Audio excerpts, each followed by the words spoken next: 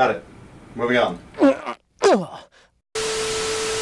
Ah, that good old CGI greatness never gets old. Anyways, welcome back, true believers, and all you spectacular Spidey fans, to another very interesting Spider-Man related video that I thought would be fun to put out for all you to enjoy because it does seem like some of you guys are interested in learning or seeing more about this very underrated Spider-Man cartoon slash animated series that is my personal favorite Spider-Man animated type of format that we have seen out there, besides that, of course, with the film of Into the Spider-Verse, but for an animated series, I still think this one stands out the most amongst the rest, and does have a lot, and I do mean a lot, of very underrated episodes that showcase Spider-Man in a very intriguing way that you aren't usually used to, but also showcasing a narrative that isn't afraid to take risks and go a bit darker than what we're used to with the standard Spider-Man norm. And of course, I am talking about Spider-Man, the new animated series. Now, we have done a few videos about this show already. I have done a full review about it all the way back in 2018. Go check that out. I recently re uh, revisited the show with the 18-year anniversary, which was very fun, and we watched the first episode of the show, kind of going back after, I think it's been like a couple years since I saw the first episode fully in detail, start to finish, which was Heroes and Villains with Turbojet, which was great, and I also had the privilege of interviewing the crew who is making their own fan-made season 2 of the show, continuing the universe and kind of putting their own spin on the series in a very intriguing way. So there are still a lot of fans of this show out there that are in love with this character and this iteration of the character just as much as I am, which I love to see. Now, I did see some of you guys in the comments say you would love to see more of this. However, I probably will not go and watch every single episode start to finish, because first off, that would be a big issue with copyright uh, claims and also just a lot of things to deal with from the Sony side of things, since they still kind of own the rights to the show. But I did want to kind of just go and watch another episode of the series, one that I think is pretty unanimously decided from, I would say, the majority of fans to be the best episode of the entire show. And for me personally, it is my own favorite episode from the entirety of Spider-Man the New Animated Series. I specifically love, from what I remember, that this episode, I think, out of all the others, ties in with the Raimi-verse aesthetic of the series the most. So there are a lot of connections from the first movie with Peter and Harry's characters, and also some stuff here and there with Mary Jane, but also, of course, with the main villain of this episode of Law of the Jungle, with none other than Dr. Connors as the Lizard, voiced, crazy enough, by Rob freaking Zombie. Yes, you heard that right. That is a fact, and it is actually one of the most interesting casting decisions I've probably seen in any form of Spider-Man media, but he actually does a really darn good job with the character in the show. So I thought it'd be fun just to kind of look back at what I believe to be what the best is that this show has to offer, kind of highlight the best bits of it, and just react to the episode again from start to finish, just like I did with Heroes and Villains, and just relive the greatness that is, again, Spider-Man the new animated series with this very, very interesting take on the character of the Lizard, Dr. Connors, and also seeing what Spider-Man does in the episode with this character is actually really, really cool. And here we are with the episode itself, Spider-Man the new animated series, episode 3, Law of the Jungle, featuring Spider-Man and the Lizard. So this is, yes, the third episode of the series, which is interesting because the first episode, which we saw, was Heroes and Villains with Turbojet, and the episode that takes place in between both of those, episode 2, is Royal Scam with the Kingpin, voiced, crazy enough, by Michael Clarke Duncan, who played Kingpin in the 2003 Daredevil movie. So it's really cool to get that tie-in with not just the Raimi Spider-Man movies, but also another Marvel superhero film with Ben Affleck's Daredevil, which is really, really cool that they try to seemingly connect all these superhero franchises from the films in the early 2000s together in this mainstream type of show. Who says college is all about cracking the books and all-nighters in the library? We're really all here to have fun, fun, fun. I can confirm this. Unfortunately, when I say we, I don't mean me. There's our boy. Generally, I'm a single fun kind of guy. Maybe without the exclamation point? Parker, what the hell are you doing? Chlamydosaurus kingi, the frilled lizard. Attacked by a predator, it'll leave its tail behind so it can escape, only to grow a new one later. Interesting feature. And And I suppose if man could do that, you're finally getting it. I love this. The prosthetic arm is a nice touch too. I kind of get a little bit of a Spider-Man PS4 vibe, to be honest, where Peter is helping a villain or one of his beforehand villains create the the antidote or the you know the formula, I should say, not antidote, but the method in which they actually transition into their villainous side. So for the the show, it's the you know the lizard DNA and this formula that he's helping Doc Connors work on, and then the game, it's of course the prosthetic arms, which is very cool. You get that really cool uh, duality between Peter, his human side, and the Spider-Man villain side, and they're easing you into it. And it's you can only do so much with a 22 minute long episode, but you know, right off the bat, showcasing how this is already an established relationship between Peter and Dr. Connors, and seeing where he goes next with this formula that Peter just helped him make is very intense.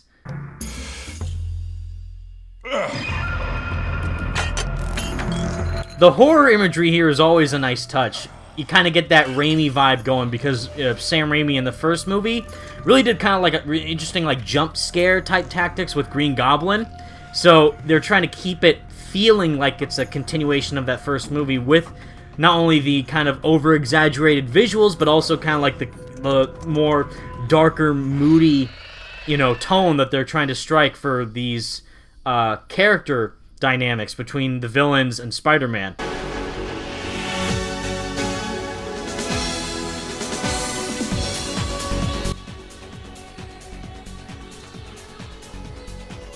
Music like this needs to come back.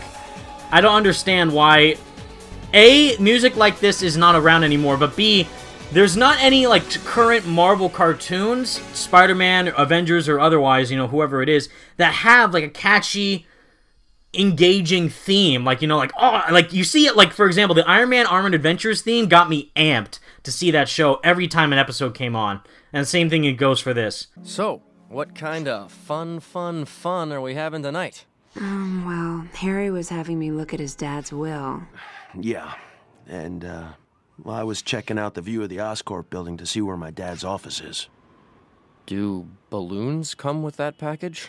Okay, you got us. the writing here is excellent i don't care what anyone says you can dislike the animation all you want i totally understand if it's not visually appealing but right here the writing between harry peter and mj it always shines in each episode So give the laptop a rest. I'll buy you a mochaccino.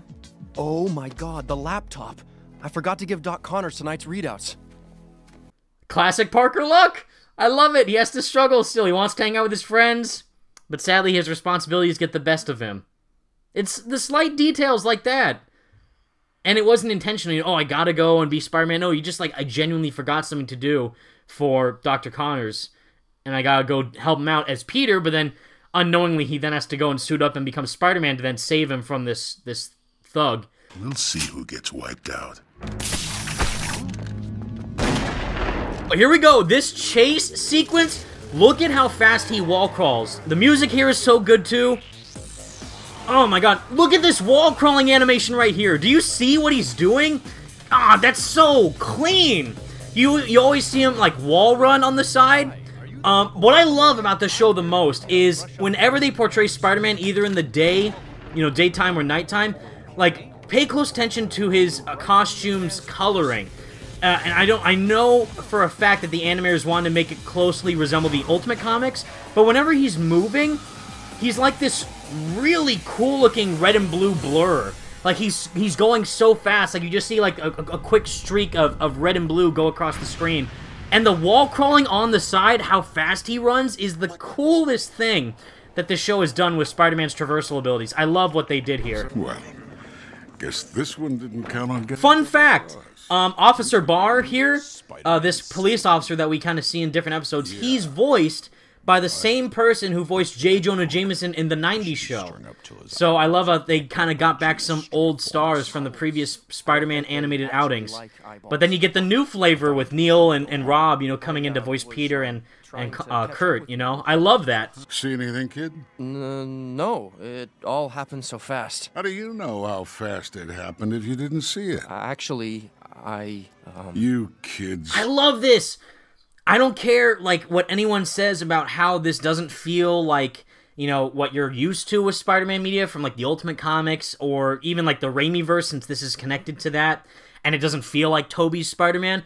I'm just, I just kind of see this as like a like a pocket dimension in a way. Like this is a different spin on the Spider-Man character while just using the Raimi stuff at like face value just to kind of enhance the story for narrative purposes.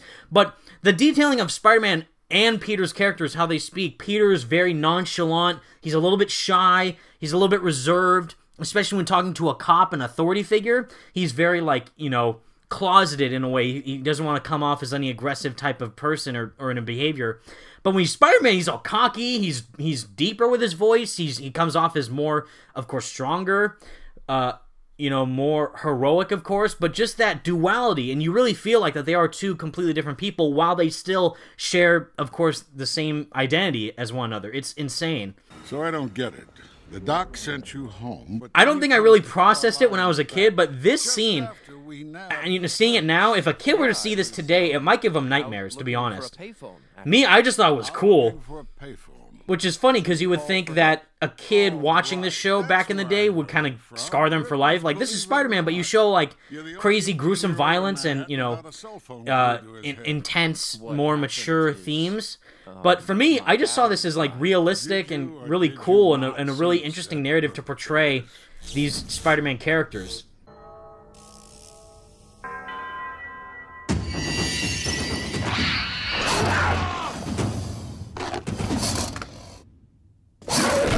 Oh, I love this shot where he suits up.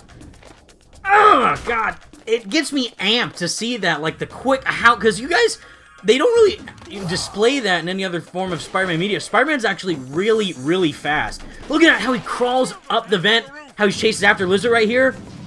The the animation de detailing is insanely articulate with how they portray the movements of Spider-Man. The Lizard design too, quick shots. This is how Lizard should have come off in the Amazing Spider-Man 1 movie. Dark, scary, actually looking like a lizard instead of like a human-shaped lizard. The swinging here. The jungle tribal music. This I it is a crime. It is a flat-out crime that this show's soundtrack, specifically for this episode, has not released publicly yet.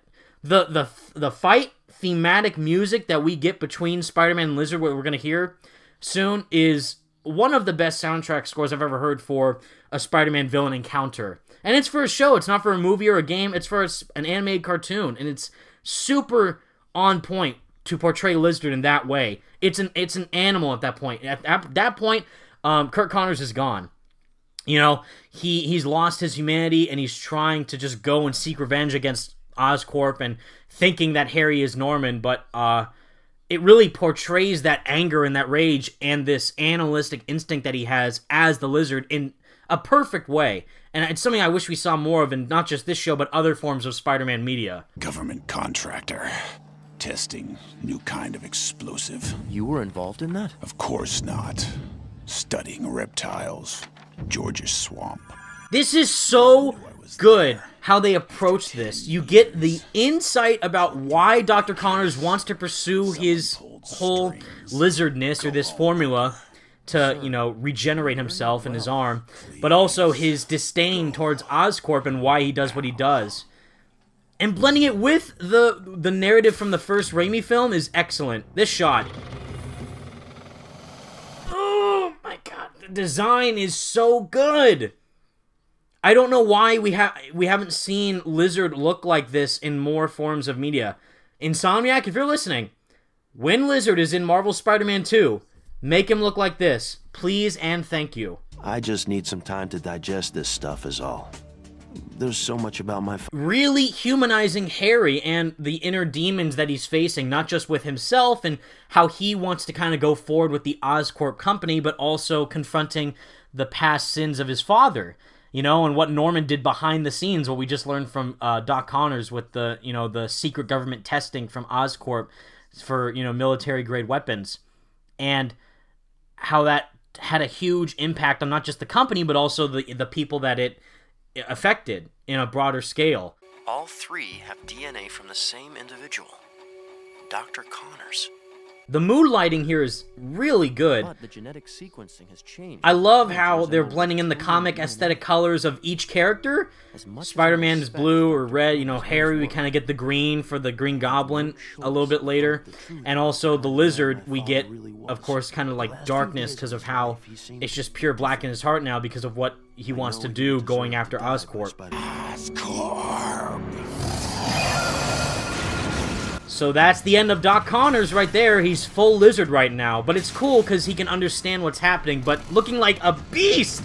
Looking like a savage. And I brought this up on Twitter the other day that he looks exactly like his Ultimate Comics counterpart, which looks excellent. And I wish that that's, again, how we saw more of Lizard in mainstream media.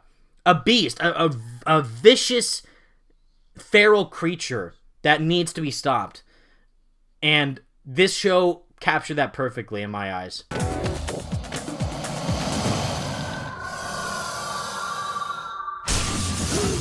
The horror themes here, the quick cuts between Spider-Man, Harry, and the Lizard. In this Fire Axe scene 2, classic Shining moment running down the hallway. Excellent! Insane! This is disgusting, but awesome at the same time. He grows them back in seconds.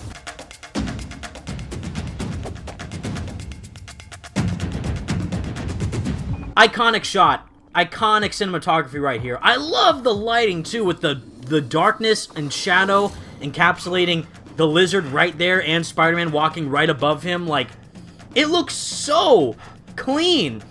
Honestly i think this animation has aged way better than what we're currently seeing on disney xd with marvel spider-man and even some of the ultimate spider-man episodes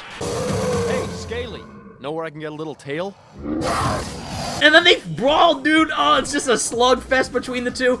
Look how massive he is, by the way, the lizard.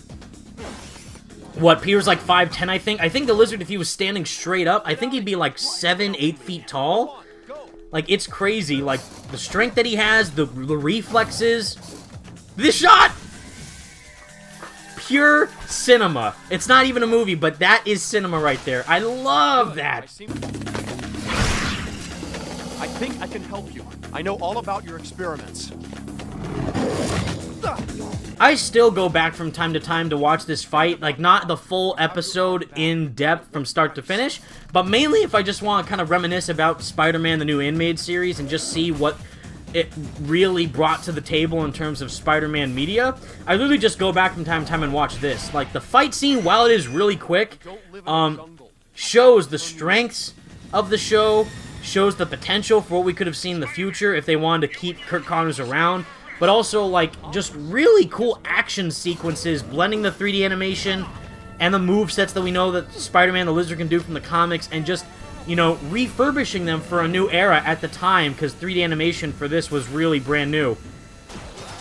Yikes, dude!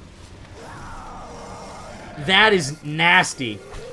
They got away with a full-on, just partial, you know, amputation for the lizard right here, dude. And it's the same arm, the right arm. That's poetic.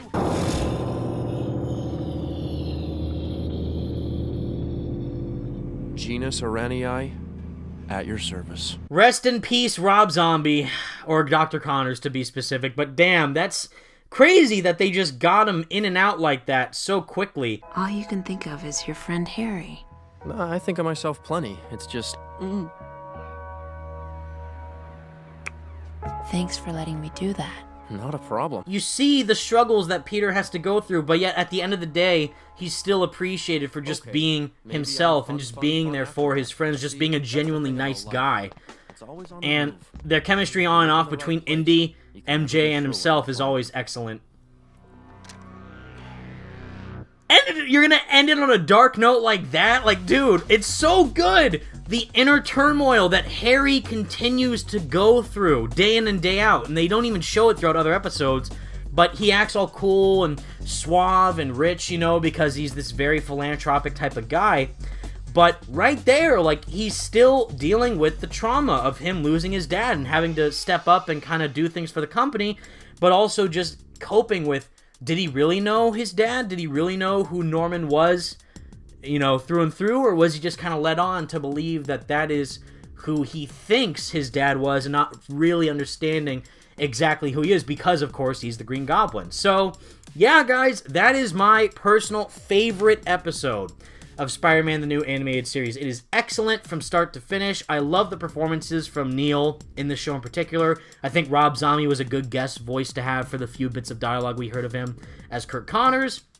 But the standout is obviously the third act, I would say, of the episode, which is near the finale where Spider-Man fights Lizard in the Oscorp Tower, which is so well done. The choreography, the wall, you know, kind of not combat, but just the wall um, interaction between the lizard and Spider-Man on the side of the building and then going up to the rooftop and then, you know, having that really dark moment of trying to realize, like, wow, he can't be saved.